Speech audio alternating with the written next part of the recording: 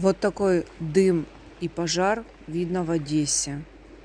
У нас в 2.26 объявили воздушную тревогу, которая длилась полчаса. Буквально сразу после объявления тревоги в Одессе слышали, именно в городе, слышали звуки ракет, как пролетают, и взрывы. Очень сильные, очень мощные. Э, даже Пишут, что у некоторых людей повылетали стекла, окна, рамы, москитные сетки в одном из районов города. Сообщают о том, что есть прилет. Это, видимо, там, где пожар и столб дыма.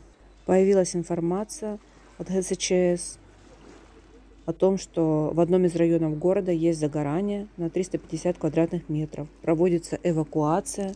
Медицинскими работниками оказывается помощь пострадавшим.